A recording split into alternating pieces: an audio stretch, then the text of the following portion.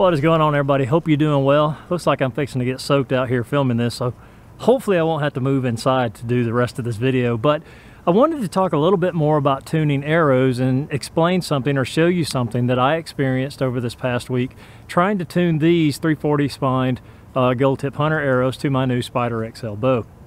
And I was having a lot of frustration trying to tune these arrows. And it was something very simple that I didn't pick up on whenever I was in the process.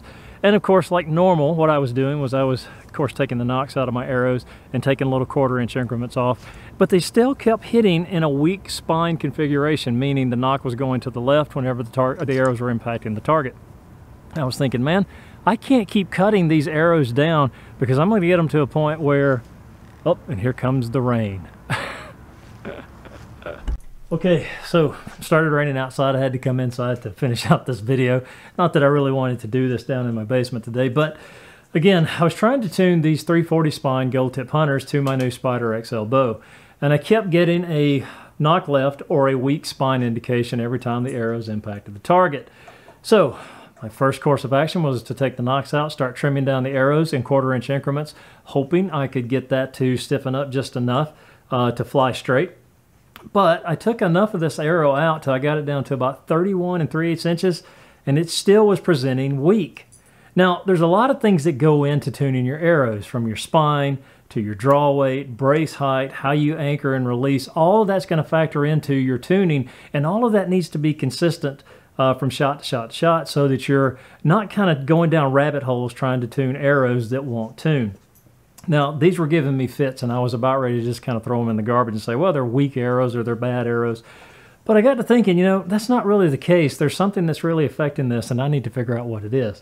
So let me take a few shots and show you how this these arrows are impacting the target. And I'll be using the same arrow uh, just so it's consistent throughout each shot and uh, let you see this, and then we'll go from there. And I'll tell you some things to look out for whenever you go to tune your arrows. Now, one thing too, you want to make sure that you're in the same spot every time you let that arrow go because you don't want to uh, move around and do this little arrow tuning tango, if you will, whenever you're trying to tune arrows because you're going to be inconsistent. So I have a spot here on the floor that I place my left foot on so I know I'm consistent from shot to shot.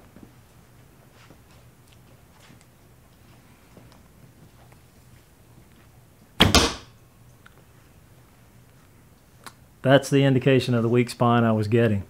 All right, let's take another shot. Find my placement here.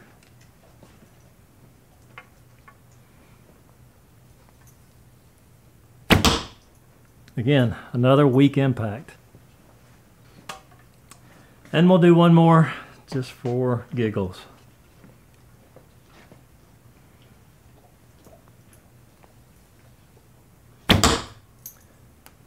So that's how the arrows are presenting themselves whenever they impact a target. Very weak, nock left. Okay, so my arrows are always consistent from no matter what I buy, 500, 400, or 340. I always use a 50 grain insert and I use a 125 field tip up front. I have switched to two and a half inch feathers, which I like to shoot those, and I'll explain, I'll talk a little bit about that here in just a second. But there's something that's throwing this off, and I could turn, I could cut and cut and cut this arrow and get it down to about 30 inches long, which is right there at the front of the riser whenever I'm at my full draw length. Now, can I shoot them like that? Yes. Could I put broadheads on them and shoot them like that? No. Is that running into an unsafe situation if I had to go shorter? Absolutely. Because here's the thing, where that arrow is going to be at the front of that riser, your hand is also right there at the front of that riser. So let's say during the shot you slipped off, you could really seriously injure yourself by that arrow going through your hand. So you need a little bit of arrow off the front of the shelf, probably about an inch or maybe three quarters of an inch, whatever you're comfortable with. And that's why I didn't want to keep cutting these down. Okay, so now I'm set up with my bow. I've got the new string on it, the Dacron B55 string. Uh, these are both strings were set at eight and a quarter brace height.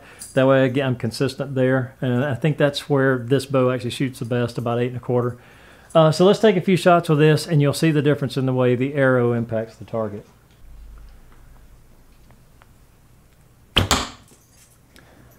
Now as you can tell, that is presenting a, a stiff arrow.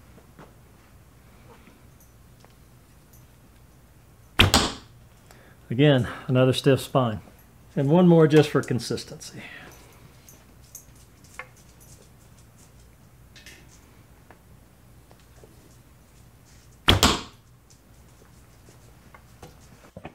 Same arrow, same distance, same shot cycle. It makes a huge difference in the way this arrow actually impacts the target.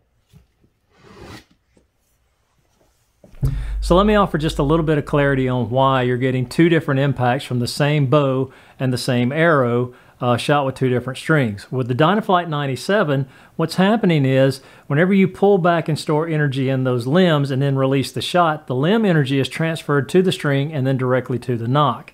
And because Dynaflight uh, does not offer any stretch or any give or no shock absorbing abilities, more energy is transferred to that arrow to get it down range faster than say the Dacron B55.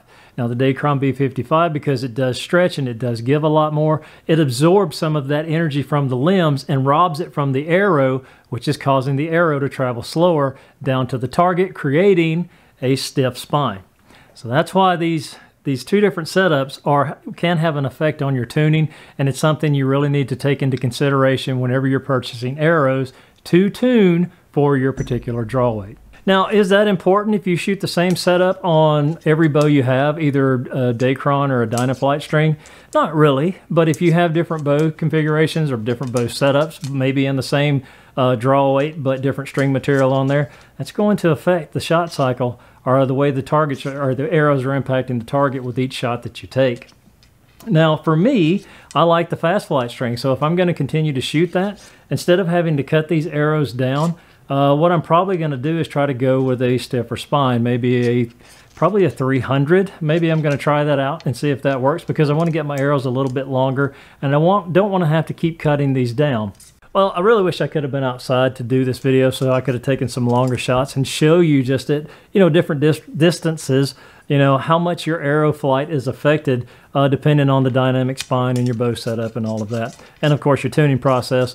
The more and the more you get into it, the more little things you can figure out, you know, kind of like obsess over, if you will my goal is just to get the arrow to fly as straight as possible without the fletching.